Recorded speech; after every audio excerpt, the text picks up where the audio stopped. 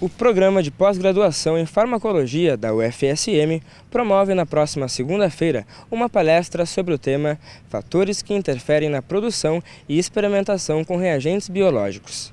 Ela será ministrada pelo veterinário Milton Amado, especialista em ciência de animais em laboratório pela Universidade de São Paulo.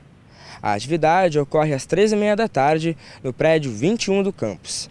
Mais informações através do telefone 3220 9382. Felipe Laude, repórter TV Campos.